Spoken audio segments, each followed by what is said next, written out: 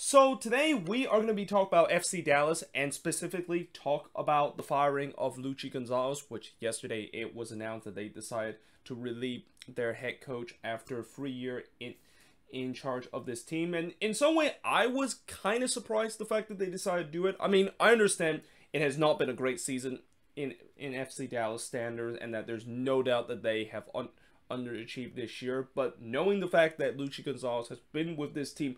even before he become the head coach of this team and being an academy head coach and have success with within this team, I didn't think that the organization would decide to let him go even with a bad season that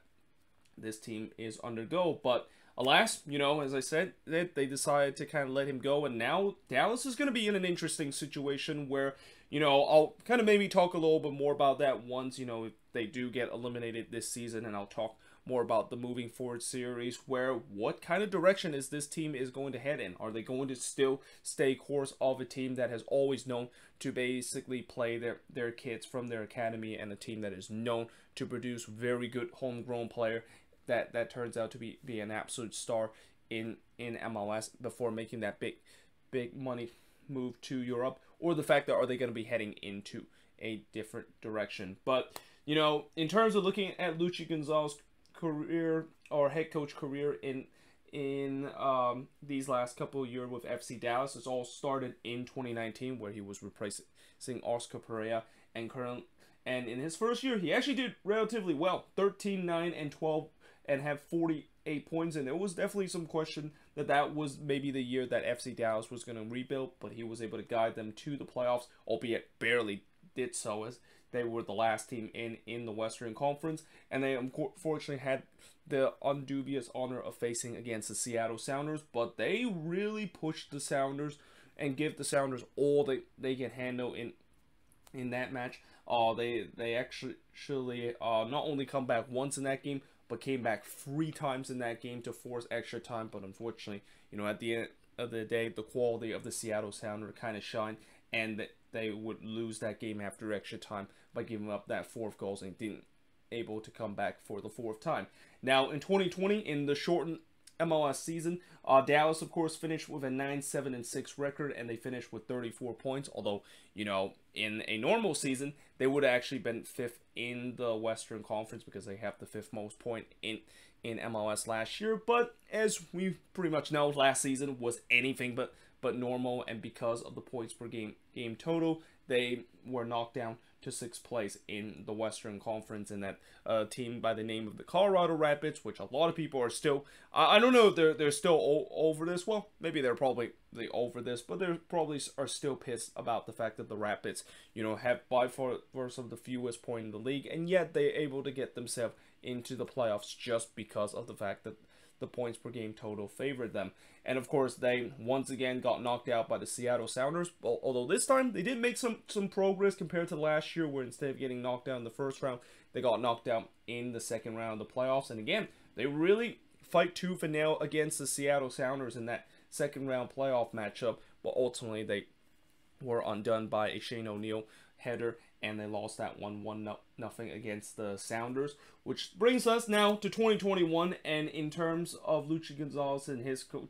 and hit hit the year that he of course got far and he left FC Dallas with a six nine. 9 and 11 record heading into this season and currently they only have 27 points now they have scored 38 goals which is a lot lot considered for a team that is below the red line but when you look at the goal goal allow, yeah, that probably explains why they're below the red line. They've conceded 43 goals this season, by far the mo most so far, far by any any team in the Western Conference, and they have a minus five goal differential and currently sits 11 in the Western Conference. Now, when you look at this season, you know it was kind kind of a slow start for them this season, uh, drawing nil nil to the Colorado Rapids before losing 3-1 on the road against the Quakes. They did get a much needed 4 1 win against the Portland Timbers, but then they drew 1 1 against their interstate rival Houston Dynamo. And then they, of course, lost 1 0 against Minnesota, drew 2 2 against RSL, and then lost 3 0 against the Colorado Rapids. And this is kind of when the wheels started to really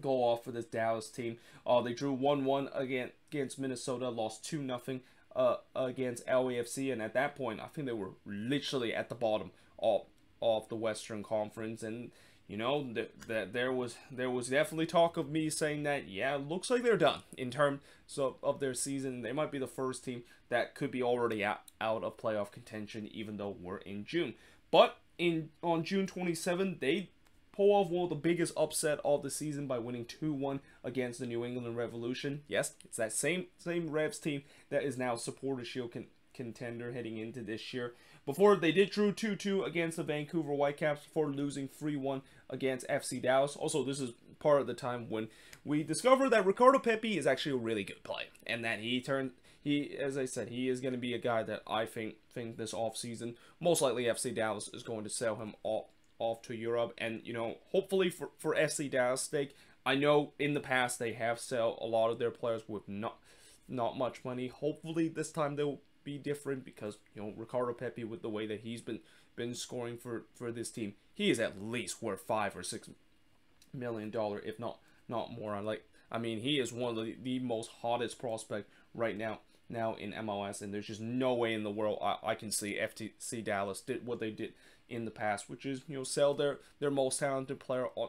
just just on pennies on the dime to a European team, and yeah, we'll, see how that's going to go. But at, at, after that, you know, they of course lost 3-1 against the Galaxy, and then they lose 1-0 against the Portland Timbers before losing 2-0 against the Colorado Rapids. And again, this is kind of the time where I thought, yeah, looks like this team is pretty much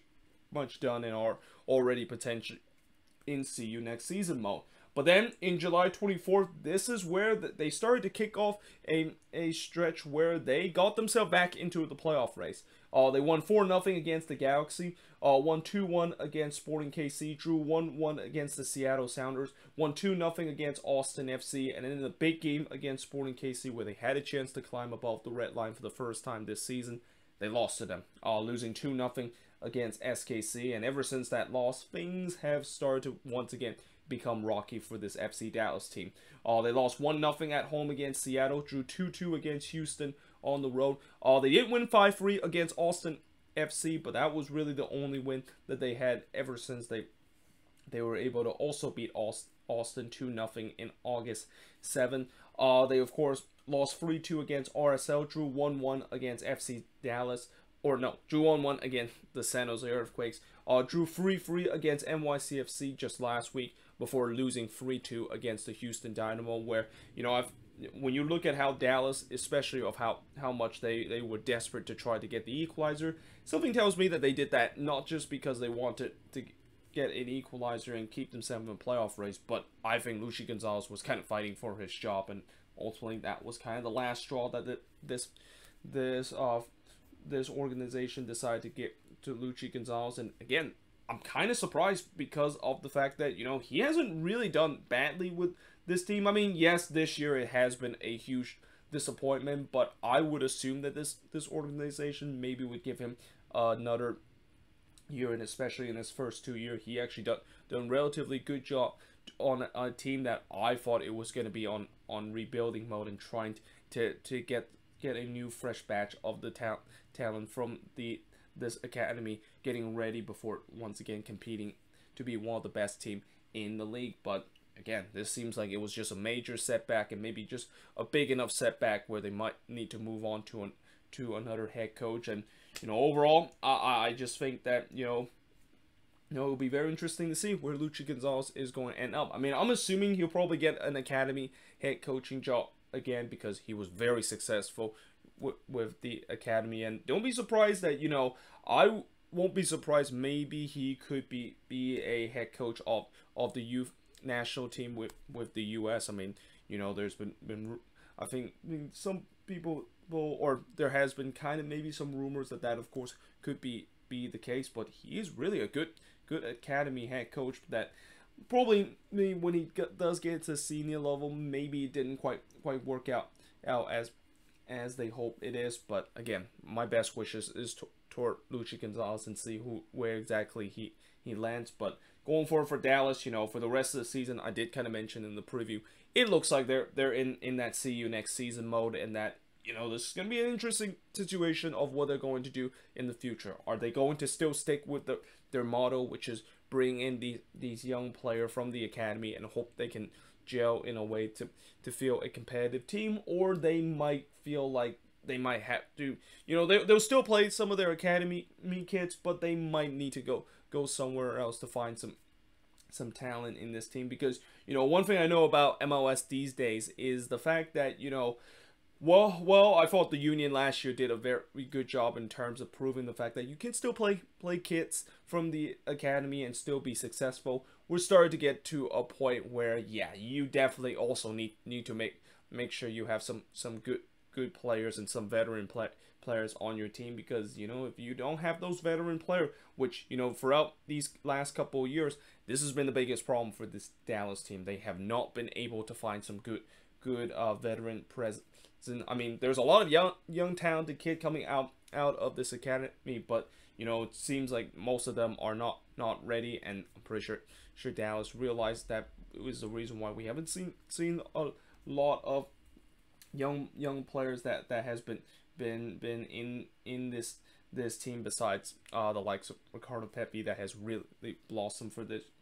for this team. But you know, overall, it's going to be an interesting situation what this team is going to do in the future, and that we'll see whether or not they're going to stick to their model of just just make sure promoting these these young academy kids and and play them in this team and hope that they can of course sell them off of a profit. Or maybe they need to start to follow maybe the, the uh, some other team's model where they need to of course have some veteran present or even maybe get some spend some money which is you know Dallas throughout the, the last couple of years and really throughout their their entire franchise history. This is not a team that is known to to spend the cash and splash the cash to, to try to improve the team. But either way, hope you guys enjoy this video. If you do, make sure you guys leave a like, smash the subscribe button. Let me know in the comments below what do you think of this, and let me know in the comments below, do you think Dallas did the right thing by firing Luchi Gonzalez at this point in the season. But yeah, hope you guys enjoyed this video. If you do, make sure you guys leave a like, smash the subscribe button, and yeah, I, of course, will see you guys next time.